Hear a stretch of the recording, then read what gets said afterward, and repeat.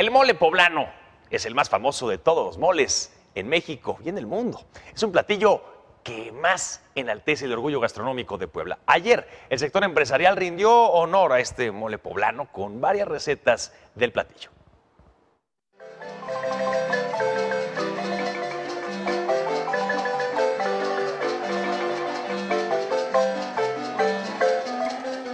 Fue en el siglo XVII, en este recinto, el exconvento de Santa Clara, donde nació el mole poblano. Sean bienvenidos a este hermoso lugar, el recinto del mole poblano. Por eso es que estamos festejando este gran acontecimiento a nivel mundial.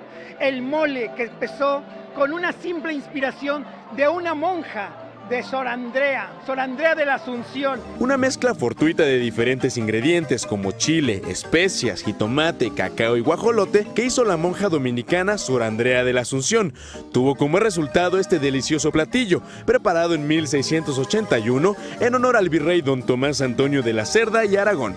Nos encontramos en la mítica cocina conventual de Santa Rosa de Lima en donde Sor Andrea inventó el mole poblano, luego de enterarse de que el virrey Tomás Antonio vendría de visita a Puebla y quería ser sorprendido con un platillo jamás antes visto. Como resultado, el mole poblano.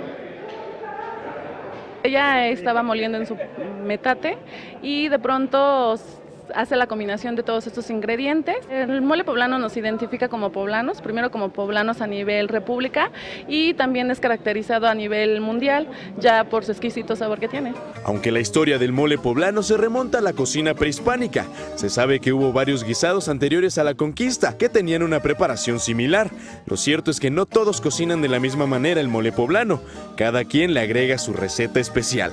O sea, yo creo que cambia mucho de generación tras generación pero pues si no, bien partimos de más de 25 ingredientes. Lo más importante pues son los tres chiles, eh, el chile mulato, chile ancho y chile pasilla. Hacemos todo artesanalmente, desde comprar en el mercado, desde costar como en, lo hacía la abuela, en el comal, este, en el molino, eh, con su caldo de pollo. Este platillo icónico ha cruzado fronteras internacionales por su combinación de sabores y sin importar la época siempre está presente en la mesa de los poblanos, como en este banquete organizado por el sector empresarial, rindiéndole honor al mole poblano si ustedes son amantes de la mezcla de dulce y salado, yo creo que van a salir enamorados de este platillo. Que vengan a conocer el estado de Puebla, ya que tiene una gran cantidad de gastronomía y atractivos. El mole es exquisito y delicioso paladar para los más exigentes. Y creo que cuando vienes a Puebla, si no pruebas mole, pues no venís a Puebla. Si usted va a preparar mole poblano,